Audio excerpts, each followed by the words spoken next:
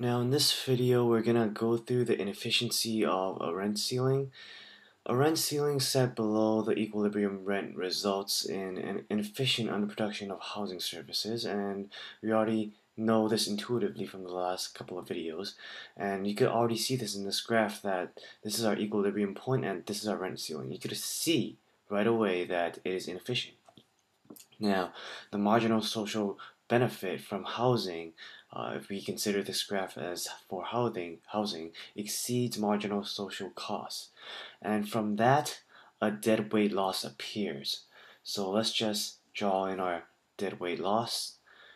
And I, am highlighting that right now and I also have the arrow pointing to the dead weight loss. So a dead weight loss appears, but that is not all producer and consumer surplus also shrinks. So our consumer surplus shrinks to this area. Before the rent ceiling, where we had equilibrium, the consumer surplus would include this whole area that I'm hovering over right now. And now that we have the rent ceiling, consumer surplus has shrunk. Producer surplus has the same uh, has experienced the same effects and they shrank as well. Because before the rent ceiling equilibrium they had this whole area that they could take advantage of. But now with the rent ceilings uh, they are they the producer surplus have shrunk. So a dead weight loss has appeared and the producer and consumer surplus shrank. And there's also a varying amount of potential loss uh, from search activity. And this is this red part that I'm currently trying to highlight right now, but my computer is freaking out. So let's just take some time and highlight that.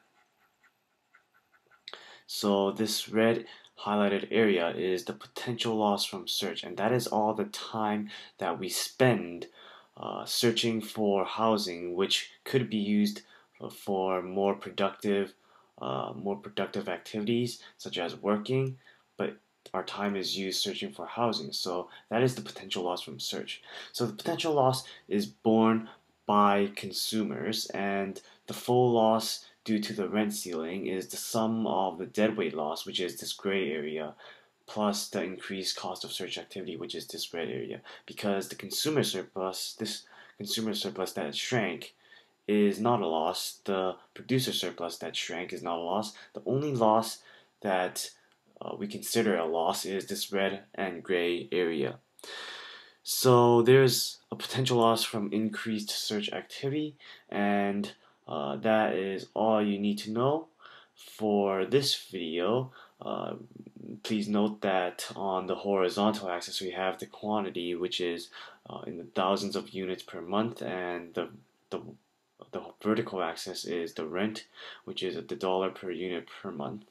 And other than that, uh, this is it for today's video.